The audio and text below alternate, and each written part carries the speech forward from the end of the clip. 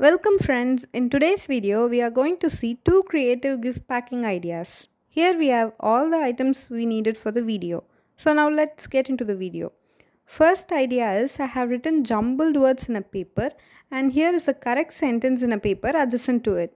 So I am going to paste this on the gift I have packed and I gifted it to my friend and asked her to decode the sentence first and then to open the gift and she felt so excited about it and then she decoded it and opened the gift.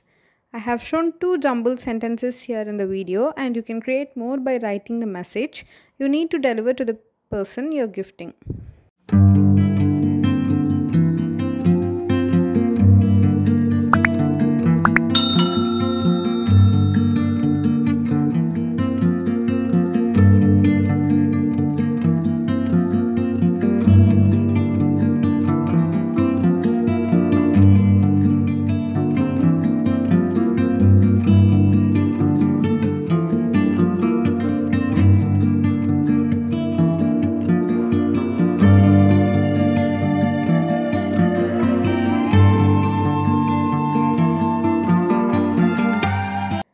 Now we are going to see the second idea. Here we will select a message and convert it into numbers like A corresponds to 1, B corresponds to 2 and similarly Y corresponds to 25 and Z to 26.